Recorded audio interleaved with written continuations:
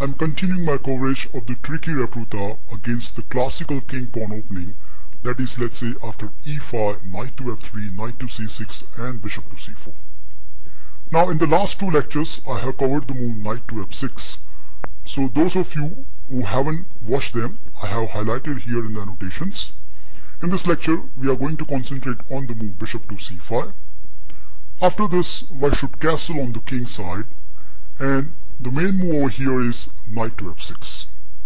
Apart from that there are other moves but they are pretty rare and that's why I have not included in this lecture.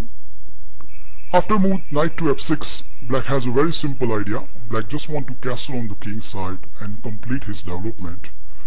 But here comes the big shot that is the move d4. Boom! This is a very strong gambit known as Italian Kotlawansky gambit which many strong players are not aware of it. The good point from the white perspective is it contains lots of tricks that means you can finish up the black very very quickly. Can you believe the main move over here is bishop captures d4 and how many of your opponent knows this? I bet not many because nobody just throw bishop pair just like that.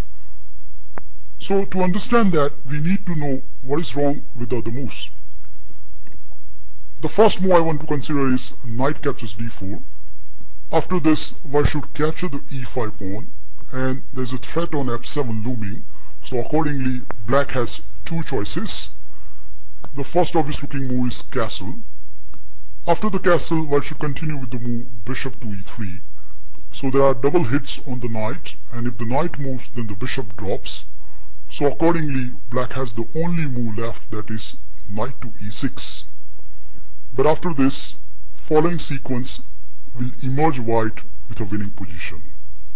Here, white continue with the move bishop captures e6. So bishop captures c5 is the next threat. Black response is force. Black has to capture this bishop.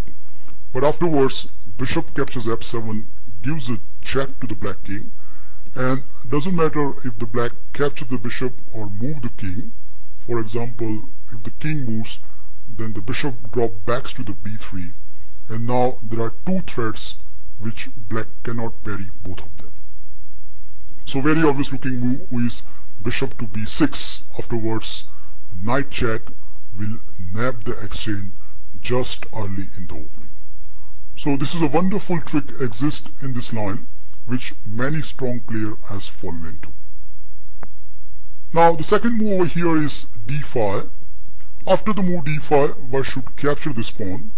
And if black foolishly capture the d pawn then c3 will nab a piece because if the knight moves then the knight on the d5 will drop. So accordingly at this point black need to castle on the king side. Afterwards once again white can play this move bishop to e3 and this time around black doesn't have even knight to e6 so that means black has to try this wild looking move that is b5 but here white can go for this sequence that is bishop captures e3, bishop captures d4, queen captures d4, and b captures c4, and knight to c3. After the whole transaction, you can easily say that not only white emerged with a couple of pawns up, but black queen side pawns has been shattered. In the next few moves, white is going to eat that c pawn. So all in all, it's a winning position for white. So by this analysis, we can easily say that at this position, knight captures d4 is not good. The second move is bishop to b6. After bishop to b6, white will capture the e pawn and black has few choices. If black takes the e pawn, that is knight captures e4, then queen can go to the d5 square and we have a similar trick exists which I have shown in many videos. So here white is threatening to mate black on f7 as well as capturing the knight and that's why black is going to lose a piece. The second move is if knight goes to the g4 then white has this dazzling piece sacrifice that is bishop captures f7. Boom, number two. Very obvious is black has to accept this and after this we have this knight check which not only gain the piece but black needs to be very careful over here. So for example, in one game, my opponent foolishly played the move king to g8. Afterwards, there is a checkmate in 2. It's an easy one, right? So just queen check, and after king to f8, queen to f7 as a checkmate. Don't expect this sort of things very often, but let's say after king goes to somewhere else, for example, king to e8, then white can regain the piece and the following sequence which illustrate how good white position is. So here in one game my opponent continued with the move knight captures e5 and after queen to g3 d6 not only white emerged with a clear pawn up but black has lost the castle right. The third move at this point is e captures d4 but here white can continue with the move e5 and it looks like we are in some sort of similar position, right? Yes, it's a Max Lange attack position which I have covered in detail in the Dirty Chess Trick 6. So it's a great way if you know the Max Lange then you can force your opponent to fall into via a different route. For those of you who haven't seen this Max Lange attack, here I have highlighted in the annotation so you can watch that video and learn what you should do after the move e5. So finally we come to the move bishop captures d4.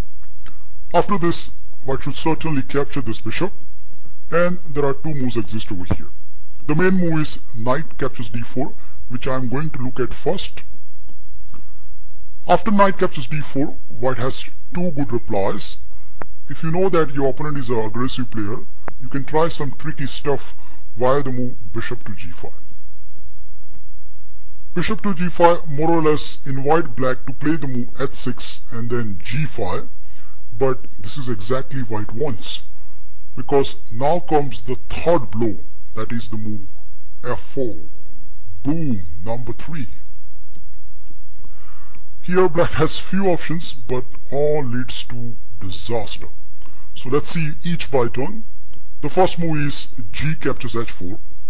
After this, white can capture the e pawn and you can easily see that two of the black knights are hanging and the knight on f6 cannot even move because there are some nasties looming on the f7. So white will gain back the piece via big interest.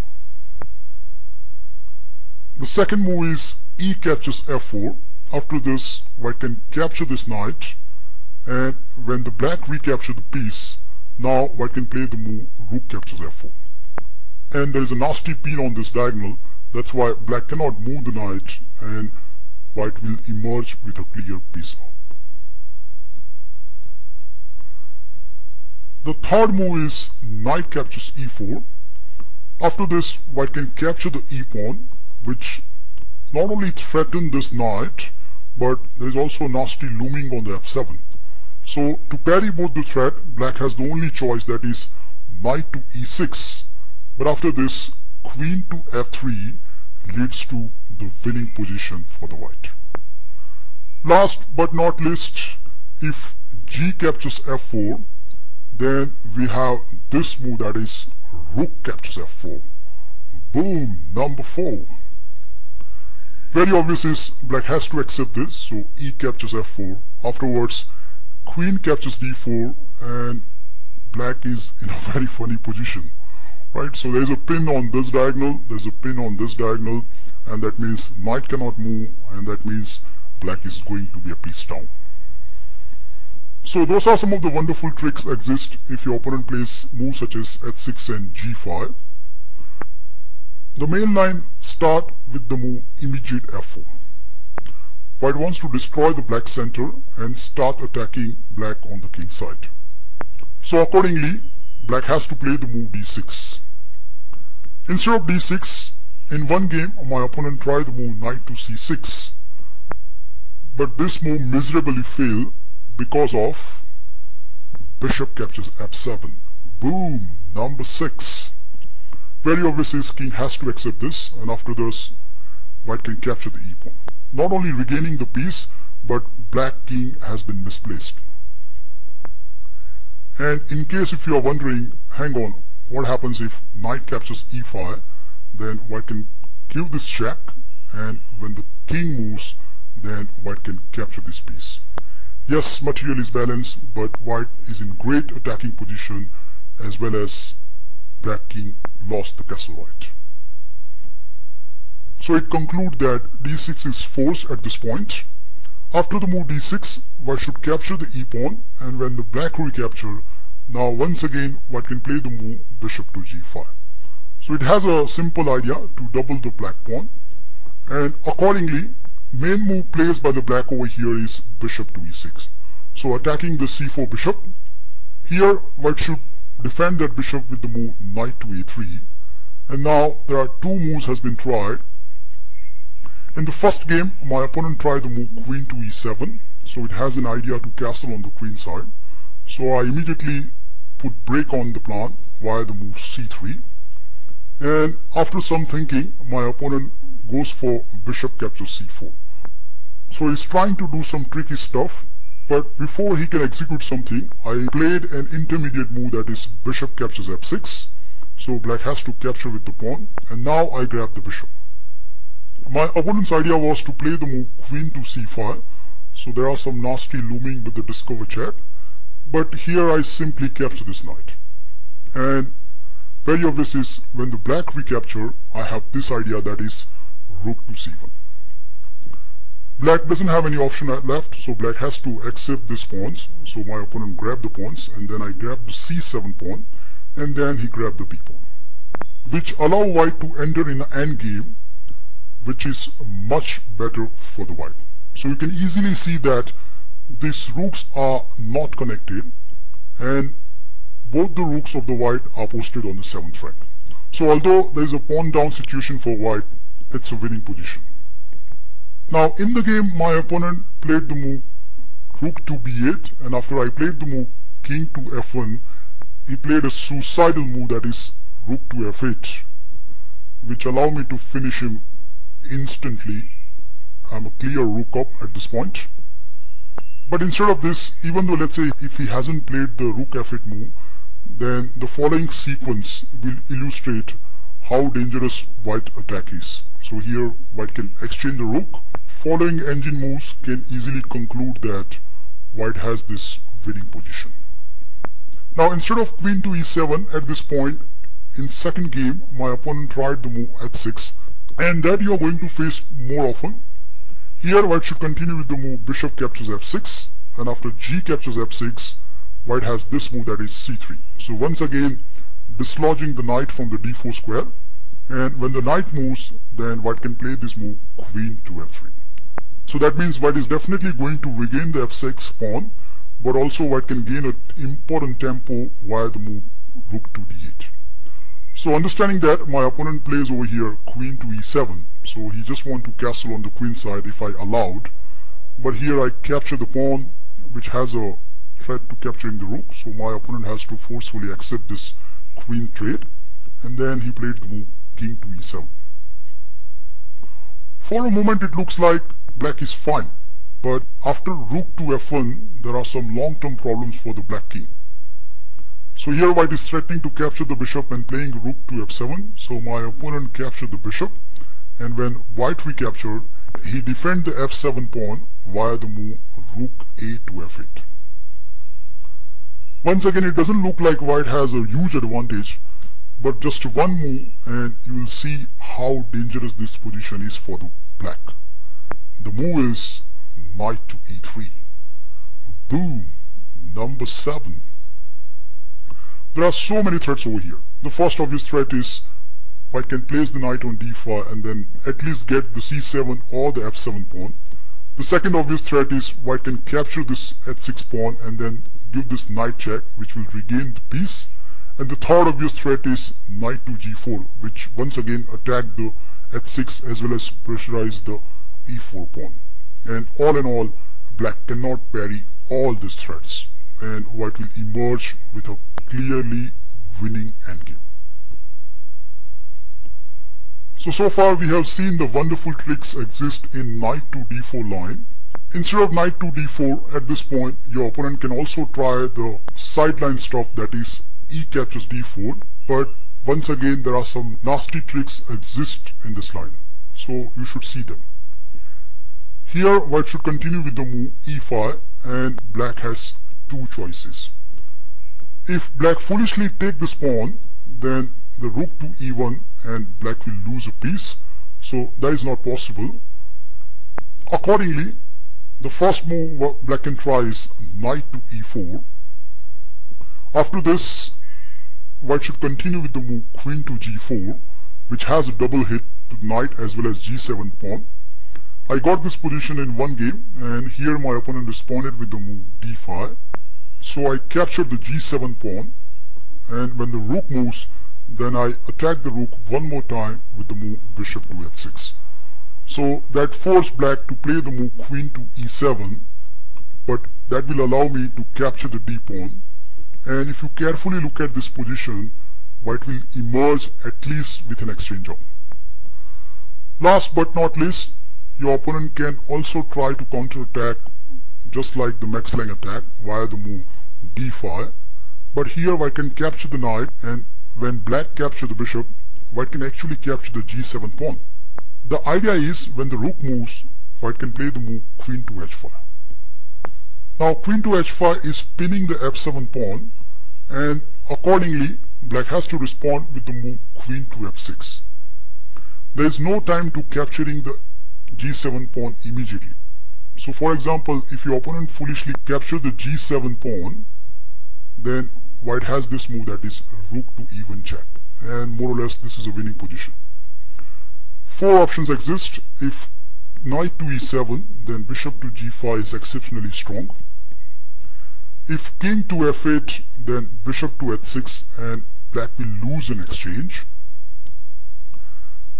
If bishop to e6, then white can simply lop up this bishop because f7 pawn is pinned.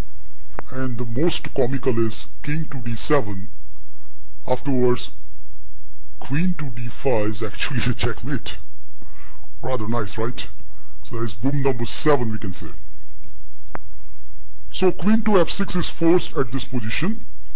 After queen to f6, white can harass this queen via the move bishop to g5 and when black capture the pawn then white once again can throw this check with the move rook to e1. Now there are three moves has been tried. In one quick game my opponent foolishly played the move king to f8 which allow me to gain the queen instantly after the move bishop to h6. In the second game, my opponent tried the move bishop to e6, but now we can simply capture this bishop because the f7 pawn is pinned. And when the king goes to the d7, white can actually grab the second piece via the move rook to c6. After b cross c6, I protected the weakest spot via the move queen to h3 so not only protecting the g2 but giving black a check. So my opponent responded with the move king to d6 and here I played the move knight to d2 so it's very clear that white has a two piece against the rook but the main feature of this position is black king has been misplaced now in the game my opponent captured his bishop but this leads to the instant victory after knight to e4 but even though, let's say if that doesn't happen, if you check out this position with the engine, it will say that it is clearly better for white. Last but not least, a very strong player has played the move king to d7. But then I continue with the move queen to h3 check, and after king to d6, I give queen to a3 check, and when the king goes back to the d7, white has this amazing move that is h4. At first sight it looks like after the move h6 white lose a piece. But white has a very cunning idea and that is to move queen to c5 boom number 8 white has a sneaky but a very solid threat that is queen to d5 and checkmate so black doesn't have any time to capture the bishop accordingly in the game my opponent tried to defend the mate via the move queen to g6 but after the queen to d5 check, so my opponent blocked the check with the queen. Then I give queen captures f7 check. So the rook is threatened, so my opponent blocked the check with the knight. Then I just capture this knight with the bishop. And now there's a threat of capturing the rook as well as capturing the queen. So my opponent desperately go for queen to g6, hoping for the queen trade. But no, I just played the move queen to d5 check, and after king to d8, there is a checkmate in 6. I'm not going to show here, that's an exercise for you, so you can do it by yourself. So that's it. I hope you enjoy this wonderful journey of the tricky Italian gambit line. You should definitely try in your own game and you will be surprised how many of your opponent will fall very very quickly. With this, I conclude my Tricky Repruta series and I like to say thank you for watching all of them and feel free to like and comment. I will see you soon. Bye.